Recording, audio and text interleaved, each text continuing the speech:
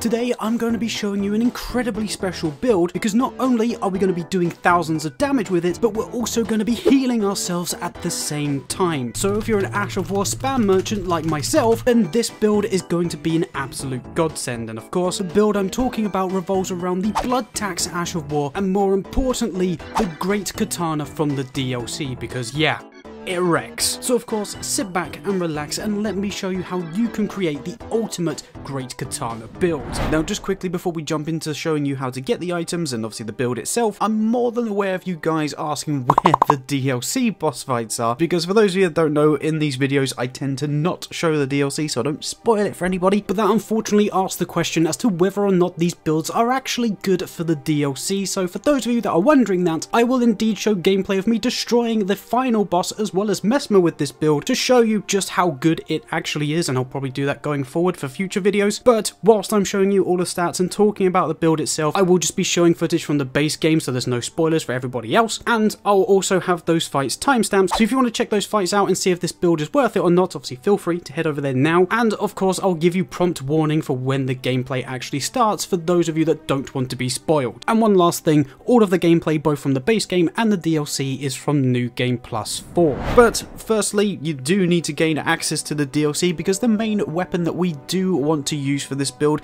is going to be the brand new Great Katana, and this weapon can be found on a body residing in this particular lake just sort of west to the Great Bridge North site of Grace. There is going to be a Ghost Flame Dragon in this lake, just be aware, but luckily we can just simply walk up to this body that is holding the Great Katana, and you won't actually alert the dragon, meaning you can also just get yourself back out of there with no problems at all. But the main star of this build is going to be the Ash of War we're going to use, which is Blood Tax, and in order to get that, you do need to go back to the base game, and more specifically, get yourself to Mohgwyn Palace. Now, there are two ways you can do that, either completing Vare's quest to get the unique item that will teleport you here, or go through the consecrated snowfields and use the teleporter in that area. If you want to do Vare's quest, you can check out my full questline video, which I will link down below. And for those of you wondering where the teleporter is in the consecrated snowfields, it's literally just sort of like northwest and right next to the Yelough Anix ruins, again in this area. But be aware, if you do come this way, you will be invaded by an NPC and you do have to defeat said NPC to activate that teleporter. But whether or not you use that particular method or go through Vare's questline, if you make your way to the Palace Approach Ledge Road site of Grace, you can make your way back down the hill past all the Albinaurics that we usually farm our runes for, and the first cave opening on the right hand side as you enter the Blood Lake will have a silver scarab residing inside, and guess what? After defeating said silver scarab,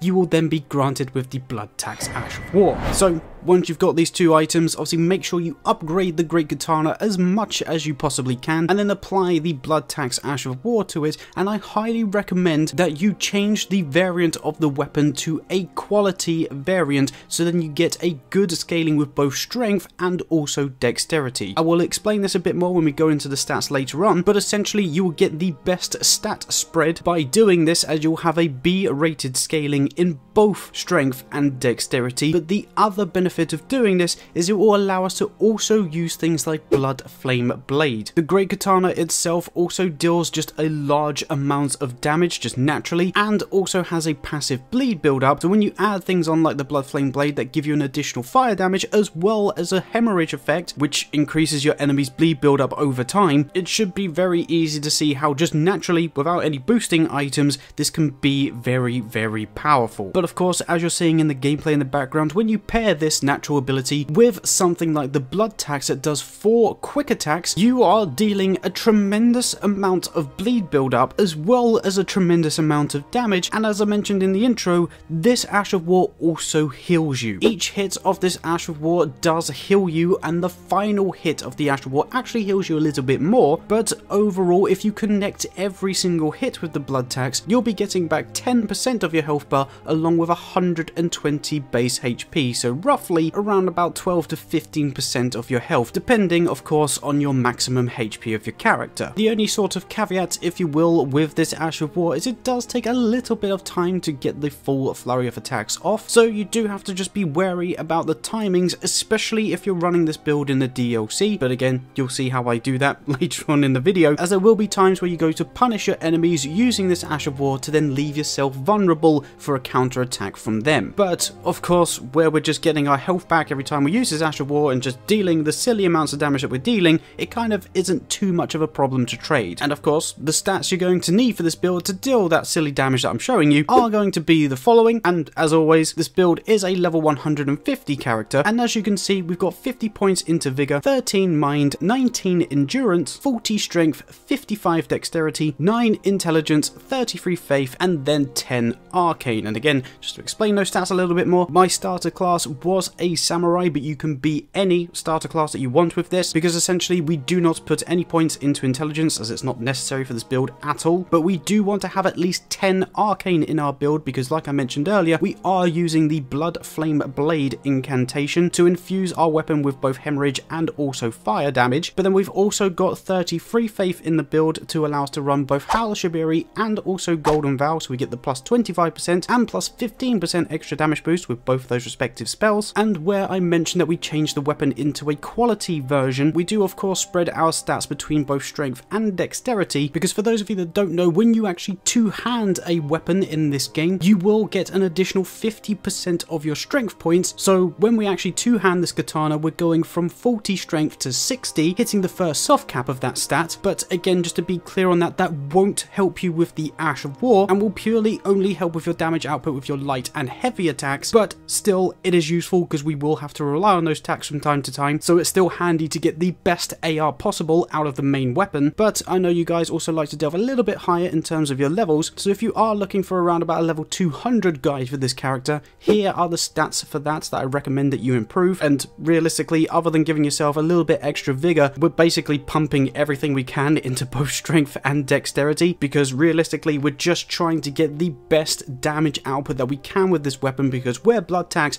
will be healing us every time we use it, like I say, we can just basically do a big trade battle between us and the enemy, and if we deal more damage than them, then of course, we're going to come out better off. But again, whether you're using a level 150 character or a level 200 character, here are going to be the talismans that I recommend that you run, and as I mentioned, where we're spamming the absolute hell out of the Ash of War if we can, the first talisman I recommend that you run is going to be the Shard of Alexander, as we get a plus 15% boost whenever we damage our enemies with the Ash of War, but then I also recommend running both Rotted Winged Insignia and also Millicent's Prosthesis, as not only will both of them be giving you a boost to successive damage output, which does trigger with the Ash of War, you will also be getting a plus 5 dexterity from Millicent's Prosthesis, which with the level 150 build will push you up to 60, and with the level 200 build will push you up to 80, obviously hitting those respective soft caps, but of course that does require you going into New Game Plus to get both of these, so for whatever one that you don't have, I do highly recommend that you run something like the Axe Talisman to help with your charged attacks with this great katana, because again, we can actually stun our enemies quite easily if we do rely on our heavy attacks with this weapon, but of course, where I mentioned that we're trading a bunch of hits potentially, you can also run something like the Dragon Crest Great Shield to help with your damage negation. But either way, the last talisman in this build that I recommend that you run is going to be the Lord of Blood's Exaltation, because we are going to be procking bleed almost every other use of the Ash of War, or just genuinely very quickly if you want to use the base movesets of the weapon as well, as long as we're using Blood Flame Blade. So we are basically going to consistently have a plus 20% buff to our overall damage output, as that will of course happen whenever a bleed proc occurs. And then finally, to round this build off in the Wonder Physick, I highly recommend that you run both the Thorny Cracked Tear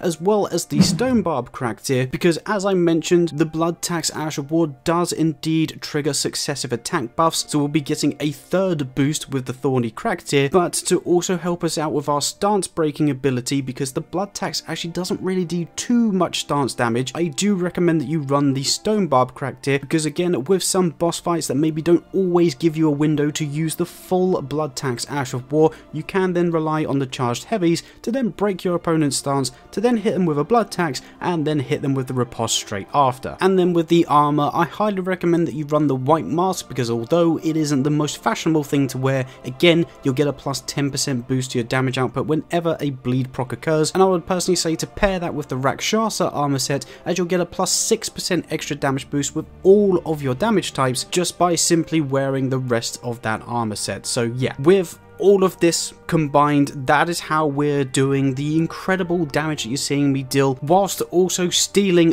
our enemy's health, giving us a kind of like fun vampire-inspired samurai build, and it is more than capable of destroying everything that the game has to offer. And here is where I'm going to give you a big alert that I'm going to show you the DLC fight. So essentially, for those of you that have been watching so far and don't want to be spoiled, thank you very much for watching. I hope you did enjoy it, and if you did, make sure you leave a like rating down below. And if you're new around here, obviously hit that subscribe button too, and that way you'll stay up to date with all of the latest crazy builds we cover here. But for those of you that wonder if any of my builds do actually perform well in the DLC, this should hopefully give you a good indication that yes, yes they do, because I am now going to show you the Messmer fight and also the final boss. I won't be commentating over it so that you can just simply watch and see how well this does and just remember I'm trash. And for anybody that is struggling using the armor sets and the setup that we have throughout this video for an alternative for the final boss in the DLC, feel free to copy this change in the armor. So we're basically using the Tree Sentinel set with the Crucible leggings, and then we swapped out the Rotten Winged insignia for the Arsenal Jar talisman so that we can make sure we're definitely in a medium weight gain, and then also swap the Lord of Blood's exaltation for the Dragon Crest Great Shield to again help us not take as much damage from the final boss and then lastly change the Wonder Physick to the Strength tier and the Opaline Hardtear to again just give us the best damage we can with the actual weapon itself,